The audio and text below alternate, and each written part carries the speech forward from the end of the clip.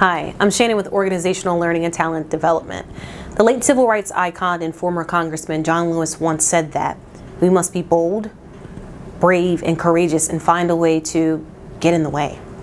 I've been thinking a lot lately about that quote and ways that we can all be more courageous. And right now, these are tough times in our nation, and many of us are having conversations around our different values, life experiences, and worldviews.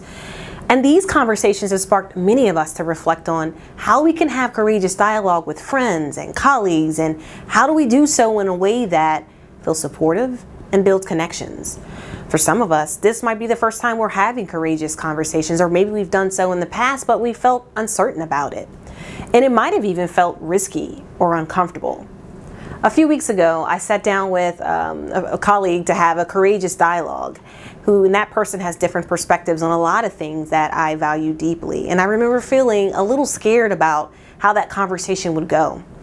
Sometimes being courageous requires us to step outside of our comfort zones and take risk. And that might not be easy for many of us, but it can improve our relationships, increase understanding, and also help to broaden our perspectives. And that was exactly what happened in my situation. Both parties walked away from that conversation with a greater appreciation of each other's viewpoints. So, before you initiate a courageous conversation, here are a few things to consider. So, number one, you want to understand that no one may have all the right answers, and that's okay. Extend grace to yourself and give yourself permission to not be perfect. And if you don't know something, it's okay to say so. Number two, find ways to build mutual trust. Trust is key to any relationship, and one way to build trust is to set aside any preconceived notions or uncertainties about what may transpire during that conversation.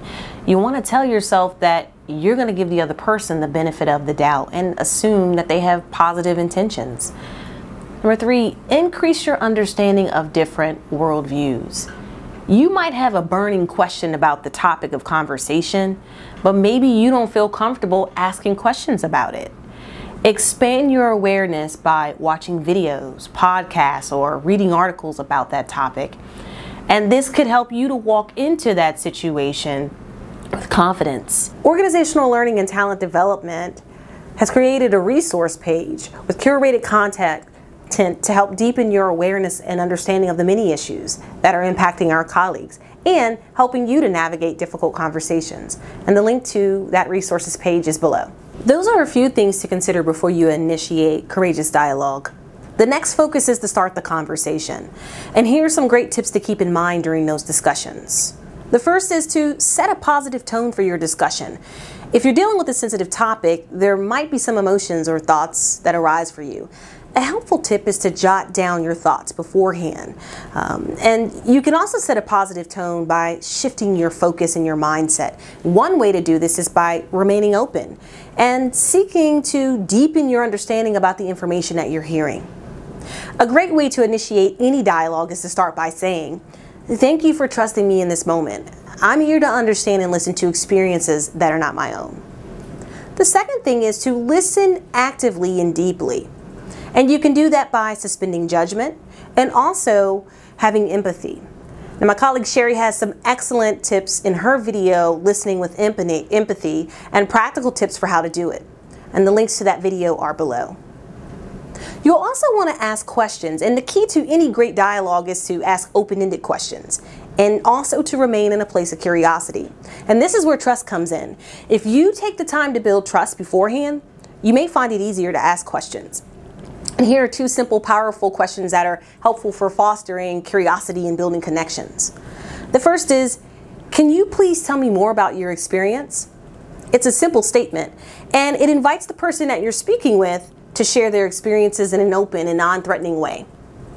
The second is, this wasn't my life experience. Can you help me to understand yours? It's a great way to build mutual understanding and it actually came from a consulting firm, Global Learning Partners, and it's a strategy that many uh, trainers use when they are facilitating difficult conversations with groups.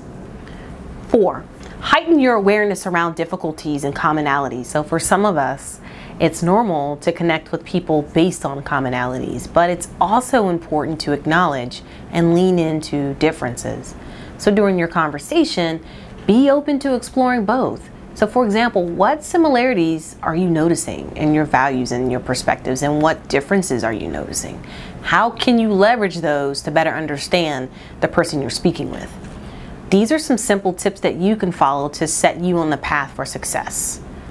A respected leader in my organization recently celebrated his employees' commitment to tread uncertain waters and blaze new trails. And I encourage each of you to think of that as you move forward during this time to have courageous conversations and blaze new trails for yourself and others. Former Congressman Lewis once said that we may not have chosen this time, but the time has chosen us. So, what are you going to do with your moment in time?